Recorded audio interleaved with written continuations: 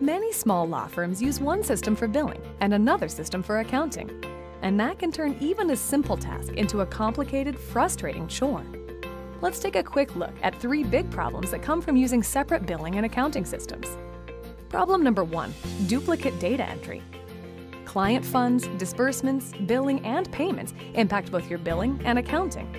When you use two independent systems, you need to get the same data into each one. That means you'll either be manually keying in the same data twice, or you'll be constantly struggling with tedious export imports between both systems. There is no lesser of two evils, as either one is going to give you daily headaches. Problem number two error prone reconciliations. Duplicate data entry is not just time consuming, it's also the cause of many errors because no matter how careful you are, differences in the two different data sets are inevitable. But since you can't have the billing system showing one set of balances and the accounting system showing another, you spend way too many hours on an ongoing basis getting both systems to reconcile properly. Problem number three cumbersome workarounds. It would be an understatement to say that the practice of law is subject to a host of unique regulations, especially when it comes to the handling of money.